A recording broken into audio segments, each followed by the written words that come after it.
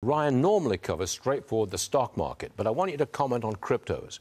Seems to me that cryptos are rapidly becoming a thing of the past, a bit like SPACs or uh, the metaverse or something like that. It's not the way of the future anymore, is it? Yeah, well, I can talk on a wide variety of topics. I'm glad you mentioned that, Stuart. But yes, I think bottom line is this isn't a surprise. I mean, at this point, look, it's come down from almost $69,000 uh, for a pet rock. Now you pay $21,000 for a pet rock. Um, I mean, there's no real intrinsic value. We don't use it in society today. So I think the bottom line is going to continue to go by the wayside. I don't understand why Bitcoin is always around $21, $22, $23,000 and stays there for months on end. Is somebody keeping it that level? Is there some manipulation here? Well, I think it's like I always say, it's casino chips uh, disguised as financial assets. People are still gambling uh, in the asset, so or I won't call it an asset, but I think it's just pure gambling speculation. Uh, you know, part of the stock market's a casino.